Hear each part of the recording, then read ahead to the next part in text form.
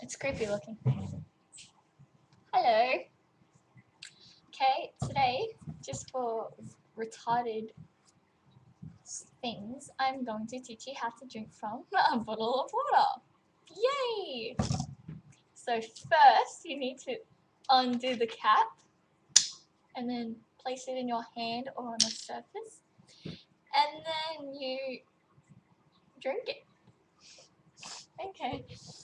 Okay. You um put your lip around this thing, and oh, you open your mouth, and then yeah, you drink it, and it's tasty.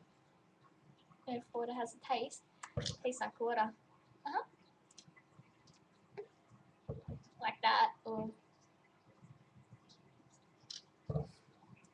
I don't know. Tired of people just wrap their words.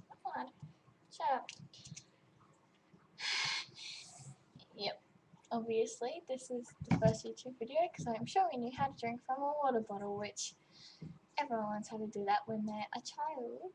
Um, Unless you are a child right now and you're probably like not knowing how to drink from a bottle of water, you're obviously watching this video. And it's kind of creepy staring into a camera lens. Like, I'm watching you. Yeah, okay. yes, I scratched my ear. Leave me alone. Bye.